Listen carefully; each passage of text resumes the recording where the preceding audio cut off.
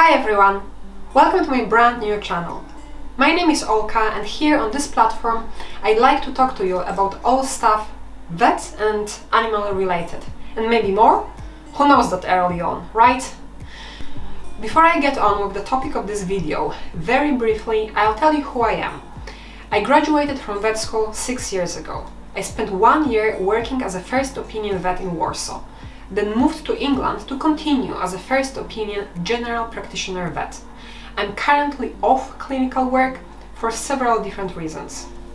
In future, future videos, I'll probably talk more about my interests, career progression, and why I'm currently not working, and why I will likely return to clinical work.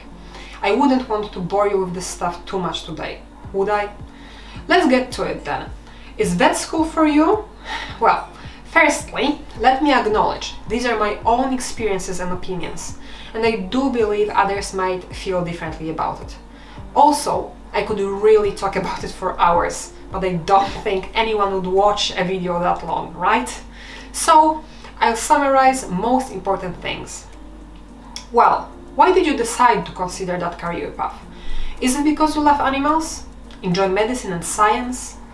I'm an example of a person who, as many, dreamt of being a vet since I could barely formulate a decent sentence and spend time with first animals I got to meet as a child.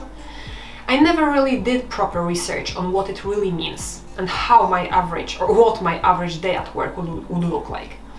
I simply thought my love for animals would be enough to enjoy this profession. Oh boy, was I wrong. Let's split this conversation into two groups pros and cons. As not to sound completely gloomy and discouraging, let's start with the good stuff. So, firstly, the biggest thing I found positive about this job was job satisfaction. I really did feel I was doing something that mattered, that I made a difference. It was a great feeling when I saw an animal I treated recovering from an illness, often saving its life. So, if you feel like you want to do something meaningful, that's one thing here checked off your list. Secondly, well, hopefully if you're thinking about being a vet, you love or at least like animals. But you'd be surprised how many people at uni who I knew would openly admit they don't really care for animals, but they do enjoy the medicine part of it. But if you do, you will get to spend a lot of time with them. However, for many, being a vet meant liking animals less after a few years in the profession, believe it or not. Encountering aggressive, naughty pets every day can change your mind. But I suppose it's the same with people. Certain people you like, certain you don't, and it's just the way it is, right? If social status is important to you, that's another thing check out the list. In my opinion anyway. Most people in a random setting who hear you're a vet instantly get a spark in their eye and I guess like you more? It's nice, right? Well, mostly yeah. But then an avalanche of questions starts. What do you think is wrong with my dog? Tell me about your job. The best one? How many times did you have your hand in a cow's bum? And many more. So yeah, social situations can be pretty easy if someone doesn't know you, but suddenly finds out what you do. But truthfully, I find that pretty much anywhere appointment at a bank, real estate agency, doctor's office, almost anywhere you go, you get treated seriously, and I guess you get insta bonus points or something. I don't want to be a judge whether it's right or wrong, but it does happen. Sounds appealing? Okay. Now, the next one is tricky, as some people will see, see this as a pro, some as a con. Salary. It's a big one, right? It definitely differs from country to country. I will focus on working in the UK. Well, long story short, money is good, above national average. However, for the amount of studying, years spent at uni, and simply how difficult and demanding the job is, many consider it too low. When you Google actually UK-based vet salary for experienced vets, the average range is between 40 and 70,000 pounds.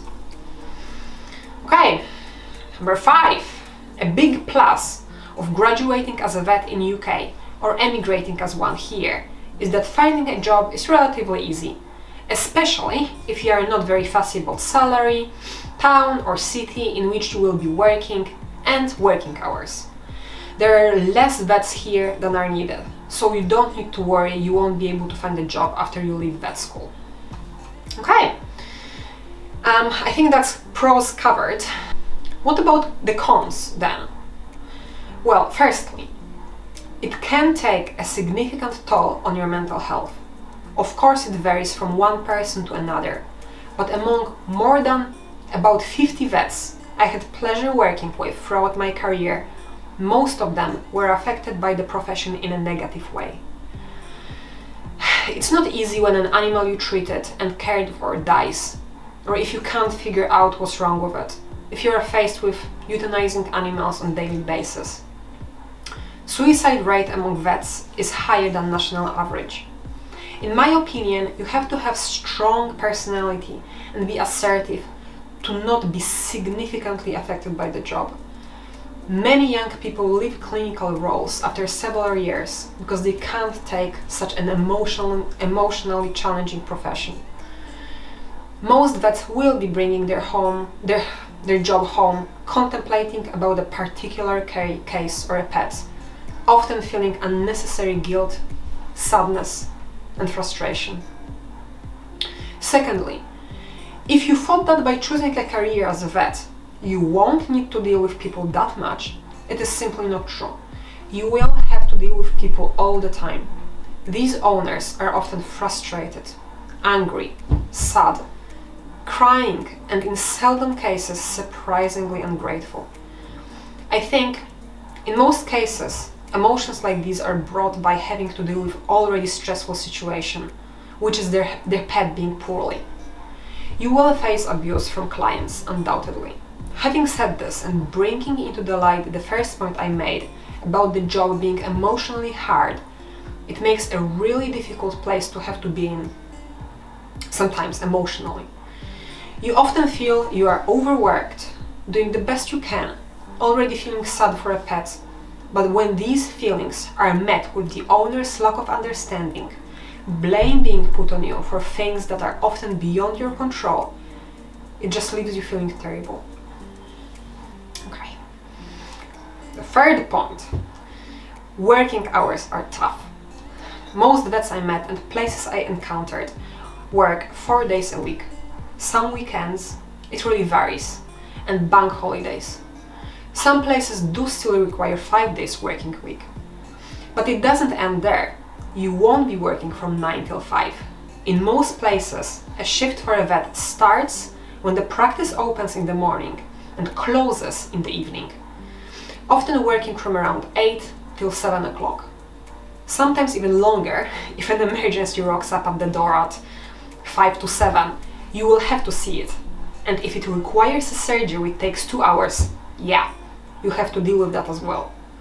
I am sure that there are some magical places where it works better and vets can leave when they are supposed to, but it must be rare.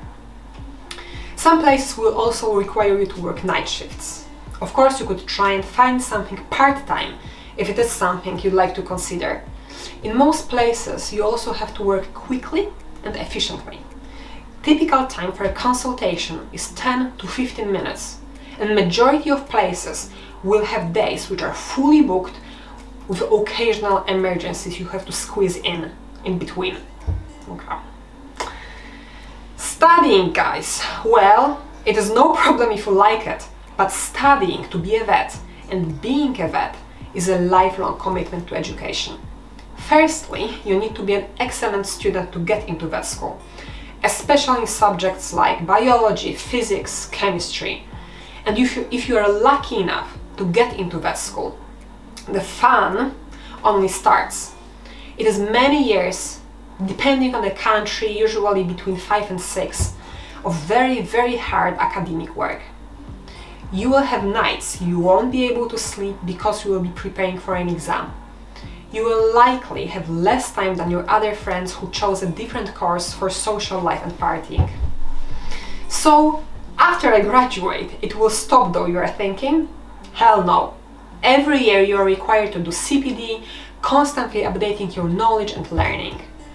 Many vets decide to further their education as well, completing certificates, enrolling in residencies, or just simply learning by themselves to make themselves more knowledgeable and basically better vets.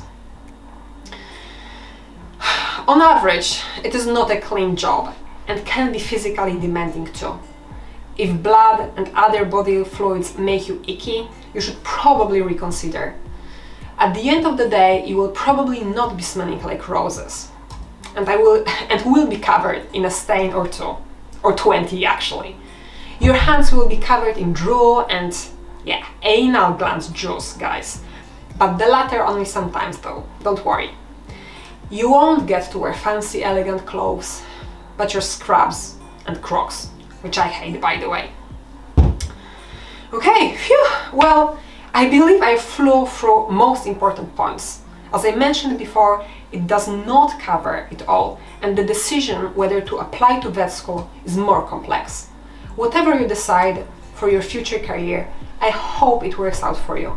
I hope you enjoyed my video, and thank you for watching. See you next time. Bye!